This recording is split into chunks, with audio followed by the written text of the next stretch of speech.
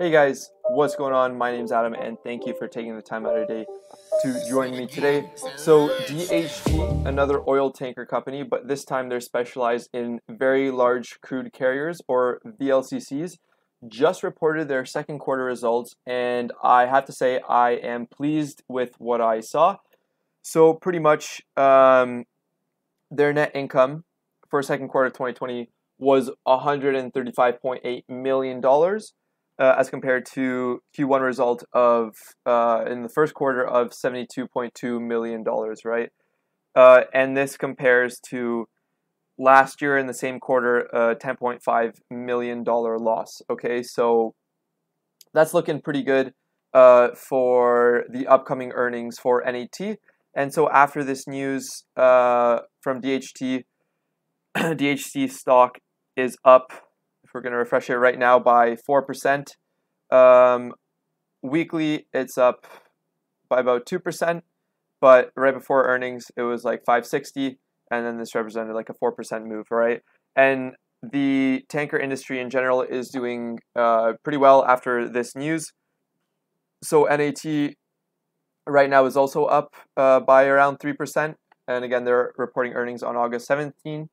And then if we look at the Euronav, it's up by 2%. Teekay tankers up by 4%. Uh, Scorpio tankers and Frontline, all of these tankers are up um, pretty significantly after DHT reports earnings, uh, right? So overall, they posted a net income of 81 cents per share. Um, and then another significant factor is that they also increased um, their dividend payout by 37 cents. If we go, where is this here? So, um, so if you are an, a shareholder of uh, DHT by August 26th, you'll get paid a dividend of 48 cents, which is a 37% increase from 35 cents they paid in Q1 of 2020. So DHT really likes to um, reward their shareholders with dividend payouts, right? So you can see this is pretty huge, right? And so 48 cents uh, is, you know, like 9% of the stock's worth right now or whatever. So in just one quarter, right? Uh, which is like very significant, right? We're, we're talking about a stock that's like uh, close to $6 right now. So that's pretty huge. Um, so let's look at some highlights here as well. So net income, of course, 136 million. Um, and also they talk about again increasing their cash dividend to 48 cents per share payable on september 2nd as long as you're a shareholder on august 26th uh, which is actually my birthday. Uh, and they also said that in june the company entered into a two-year tce a time charter equivalent agreement with an option to extend to 4100 41,800 per day for and they just own VLCCs I believe they own uh, 27 of them um, and so TCEs, they're not involved in the spot market.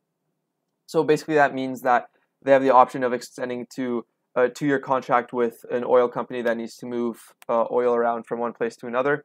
So again, you know, 41,800 is significantly lower than what they um, usually had for their tankers, right? Because as you can see, uh, in the second quarter of 2020, the company's VLCC operating in the spot market achieved a 9,000, 92,100 per day, right? So pretty much like less than half is like this two-year agreement, right?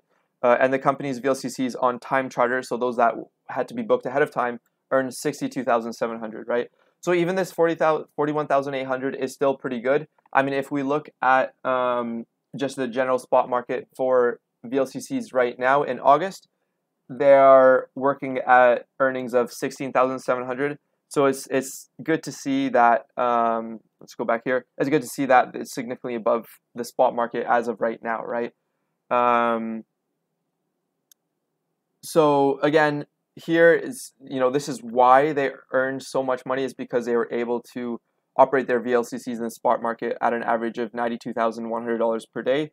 Um, and then on their time chart equivalents, they're able to do 62,700 per day, which is still huge, right? And so the combined average was $83,300 per day, which is insane, right?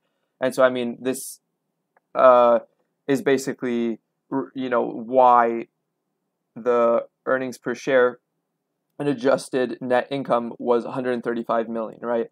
So as you can see here, you know, almost double that of Q1 of 2020, which is, you know, absolutely insane, right? Uh, and you look at like, of course, 2018 they were losing money, 2019, you know, not doing too bad, but then second quarter of 2019 losing 10 million, third quarter of 2019 losing 9 million, and then just doing better for themselves uh, as the year progresses, right? Um, and of course, increasing their dividend all throughout as well, right?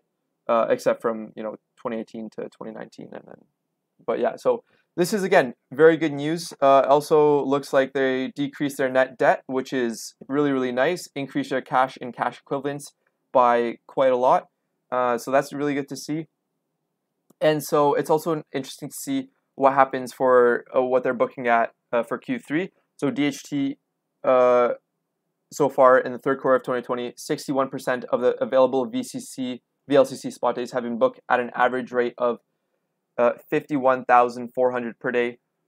So again, that's pretty damn good still. For 5,000, 51,400 per day um, is good.